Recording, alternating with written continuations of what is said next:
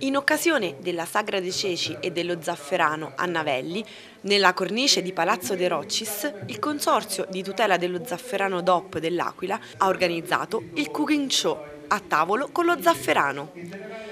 Un'esperienza sensoriale unica che ha potuto far riscoprire i sapori dei prodotti tipici. Ceci, formaggi, vino ed ovviamente il re, lo zafferano. Nell'iniziativa si è potuto osservare da vicino la preparazione di alcuni piatti, semplici da cucinare e portare sulle tavole di tutti, che esaltano molto il gusto dei prodotti tipici locali.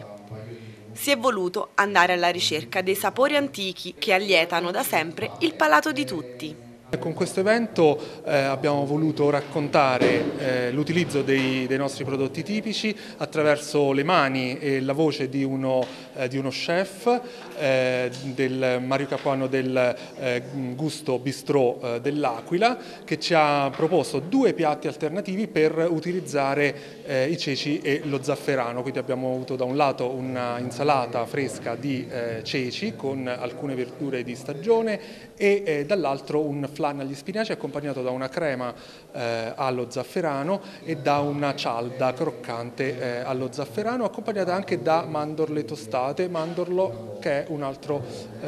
aspetto tipico della produzione navellese con i bellissimi mandorli in fiore che possiamo ammirare nell'altopiano in, in primavera.